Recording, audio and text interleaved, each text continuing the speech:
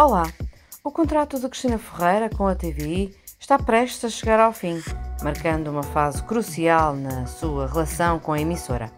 Após um mês de férias e várias reuniões com o CEO da Média Capital, Pedro Moraes Leitão, a apresentadora finalmente começou a tratar da renovação do seu vínculo laboral.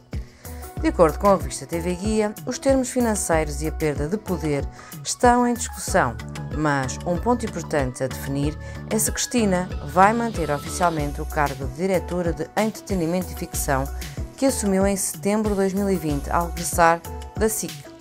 A fonte próxima da apresentadora revelou que ela deseja manter o título devido ao estatuto que ele lhe confere, mesmo que o poder associado seja reduzido.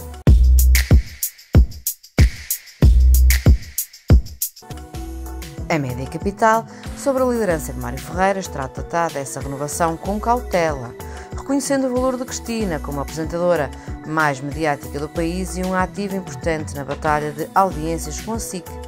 Querem evitar má publicidade relacionada com a possível perda do cargo de diretora e parecem estar dispostos a manter Cristina Ferreira na TVI, mesmo que o papel de diretora seja mais simbólico do que efetivo.